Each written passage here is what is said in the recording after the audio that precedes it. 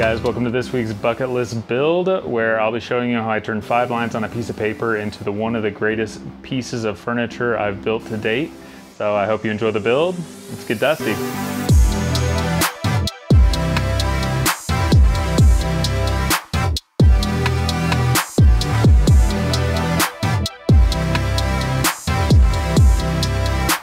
All right, let's hit the ground running. I skipped all of the milling footage on this video. We've just got a lot of ground to cover and I wanna get there. So I got a bunch of fat boards and turned them into a bunch of flat boards and we're working on this angled case which poses quite a few problems uh, with dovetails, layouts, having to fit all of that together. Uh, so what I'm doing here is just uh, getting all of the dovetails laid out and we'll cut them by hand, remove all the waste by hand, get them fit together perfectly. And while I do that, I wanna tell you why this is a bucket list build. So a little about this build. This client has followed me on Instagram for quite a while and he reached out with zero stipulation on what the piece should be. The only thing he said is he wanted me to build something that I'd be proud to put in my portfolio that I hadn't had the opportunity to build yet, which is kind of the dream for somebody to support your creativity like that. So when I started woodworking, I wanted to build anything. And then I met my buddy Tim and he went to furniture school and I knew I wanted to build furniture. And then I came across Michael Fortune's work and I knew I wanted to build studio furniture. And this has really been my first opportunity to give that a shot and really stretch my design ability.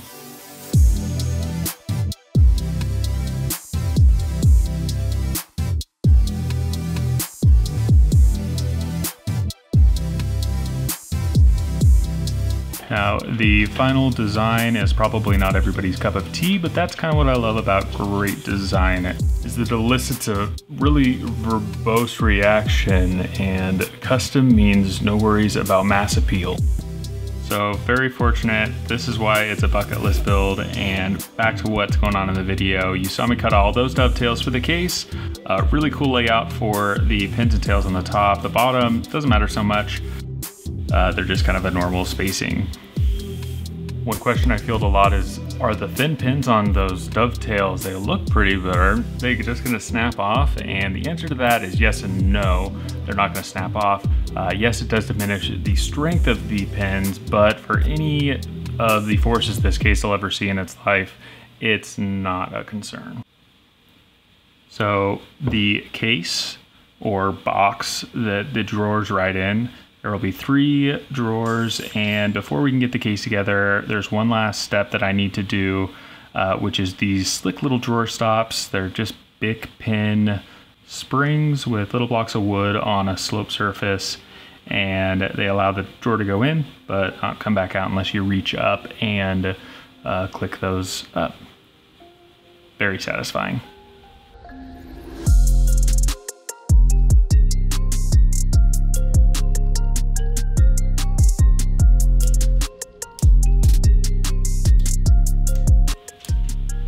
So we'll knock off the edges, make sure everything's smooth, the places that are really hard to sand, and we can get the case glued together. Clamps weren't really working, but where clamps fail, straps excel. And how pretty are those dovetails? I always love when the case comes together. It really starts to take form and I can see what I drew down on paper start to come to life. So now that the case is done, let's go ahead and move on to the back. I got the case done and the back panel, I was like, oh shoot, that's a triangle with the small side down and I've got to come in from the small side. Uh, if you think about that, it's hard to get one single piece into that to slide up into it. So I made this keystone center and then two angled sides. And using the offcut from the bottom of the case, I can trim out the bottom to get that continuous grain on a part that nobody will ever see. The backsides are my low-key favorite part of every build. There's just something about how tidy everything comes together.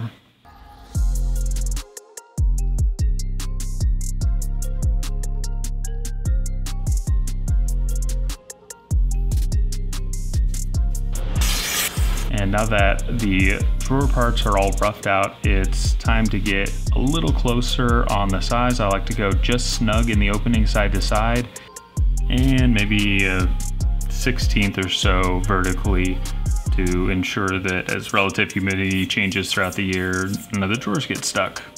Taking thousandths off at a time with a hand plane is just so satisfying and really allows you to dial stuff in uh, rather than just taking it straight off of the table saw.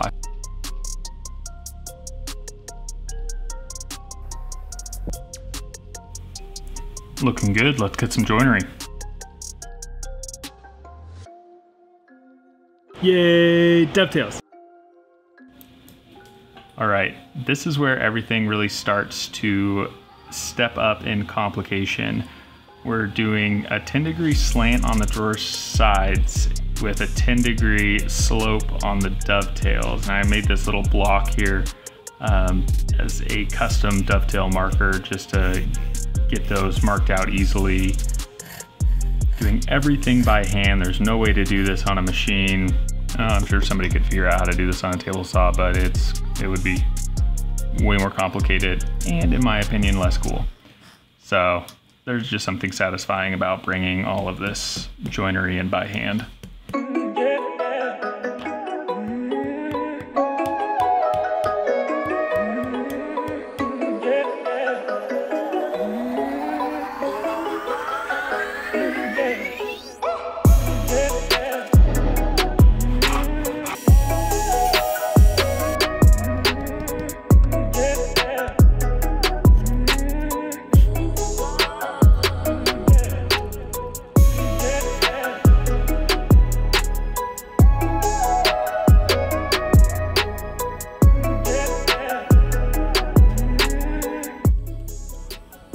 Didn't that feel good?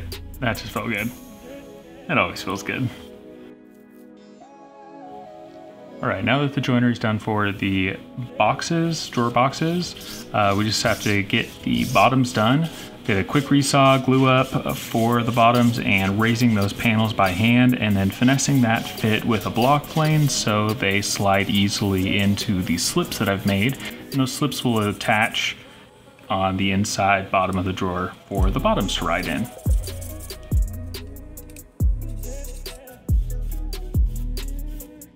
We're going to dress up all of the interior parts of the drawer before glue up, just to make sure everything's free of mill marks and just super baby butt smooth as you reach on into the inside of the drawer. And that is what a week's worth of dovetails looks like.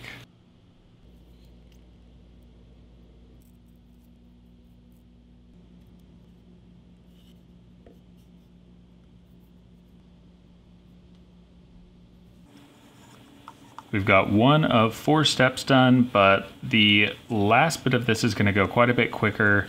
Uh, this is the tedious part. Now we're getting to the fun part. So first things first is to fit the drawers a little better. We went snug on the sides, side to side. So by taking the hand plane and just shaving those off until they're easy to open, easy to close, but you can't slam them. OG soft close, baby.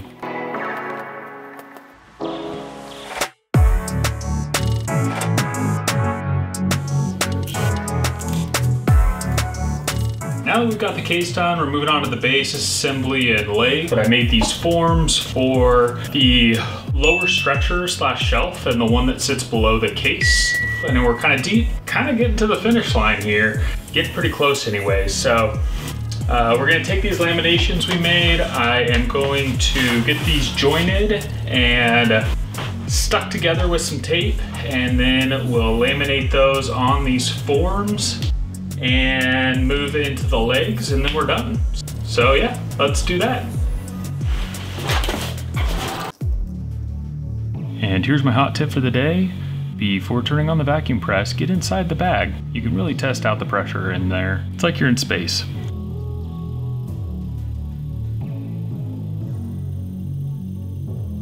Want to hear something cool? Wait for it. Wait for it.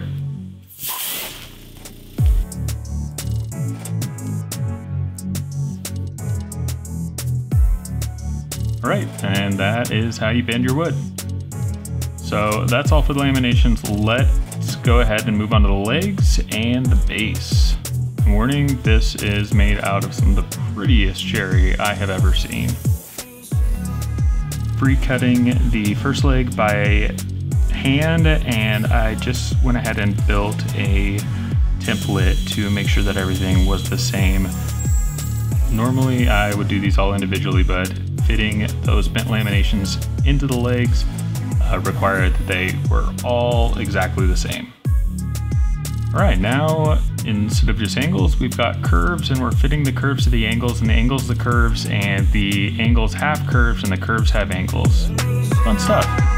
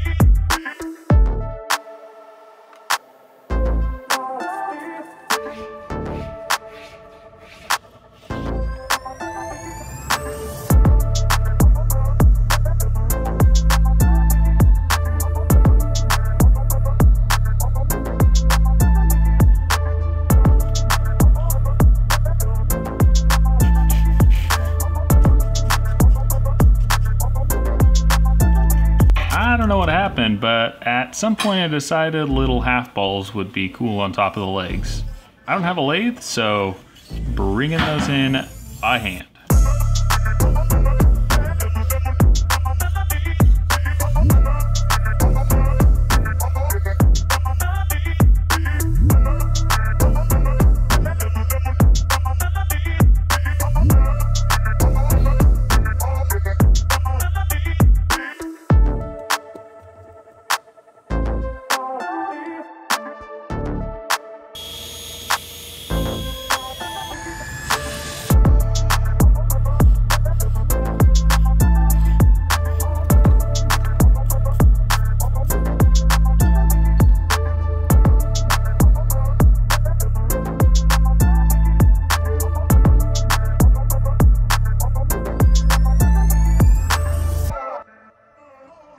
The discerning viewer may have noticed that we've forgotten a very critical part.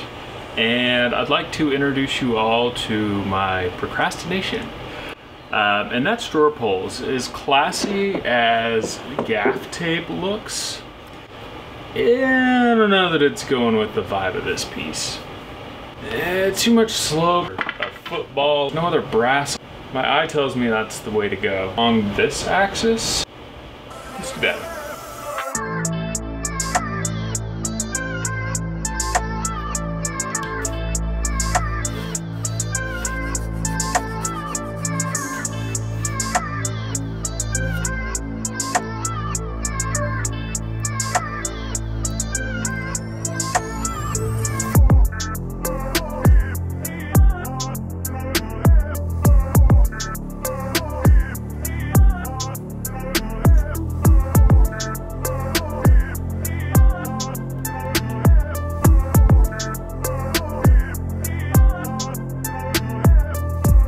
The time I put in this, I think this one definitely earned a name in my portfolio. And for this one, I named it Valence after valence electrons, uh, something that's needed for any chemical reaction to occur, which is perfectly fitting as this is going to a recently retired chemistry professor.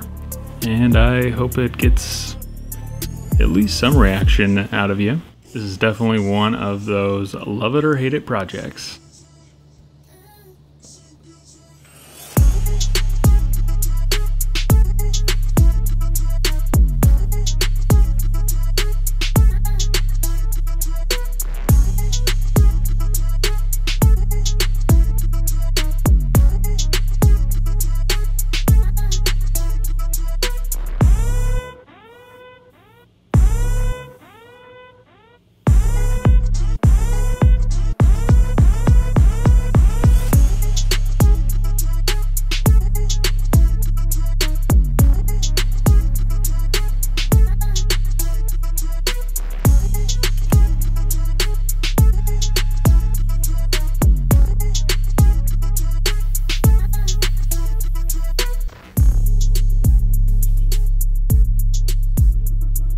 Show you those money shots, I just want to say thank you for watching. Let me know down in the comments what you think of this build, one of my most challenging and rewarding projects to date.